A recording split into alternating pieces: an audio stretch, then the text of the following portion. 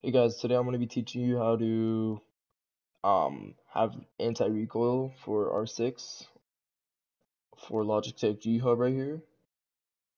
So I'll actually have the entire script or my custom script into the description. And um, basically what you want to um, basically what you want to do is once you've copied the entire thing, you want to go to games and applications I have it as my default because it's just easier, but you can also put as this one. So you want to go to scripting right here and make sure it's on profile so it shows scripting. And basically you want to delete the few th uh, everything and you want to paste it and it should look like this and save and run. And so how it works is if you go to your mouse settings there will be one second. You can see right here that there's G7 right here. This disables and enables it. It's like a toggle. And then this is for a custom one. You can like change it, but you can change all of them.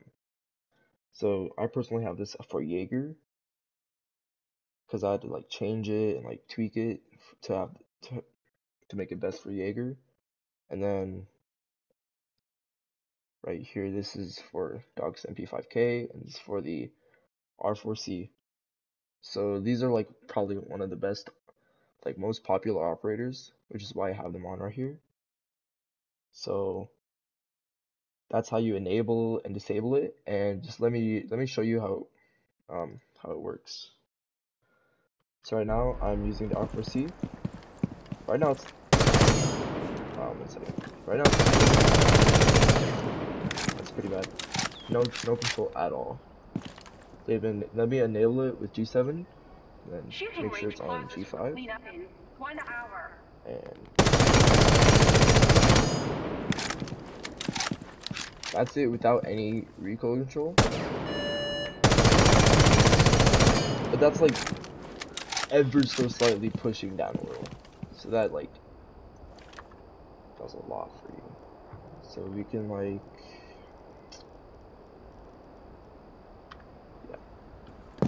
and it's basically the same for the MP5K for Doc and Jager. Um, you can, I can show you how you guys, um, I can show you guys how to change it, like, for different weapons. So, let me just go to the script. So in the script here, this is G5, this is G4, and this is G8, and then this is G6.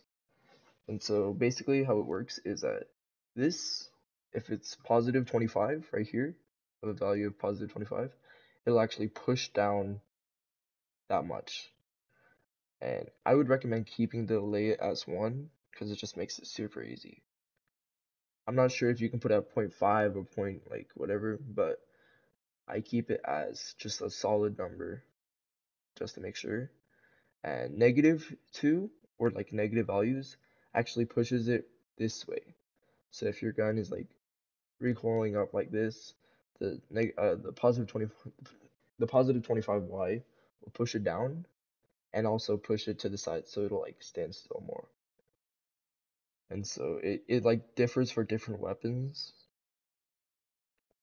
depending on their recoil, but that's how you like change it. Um, if you have any questions, please ask me.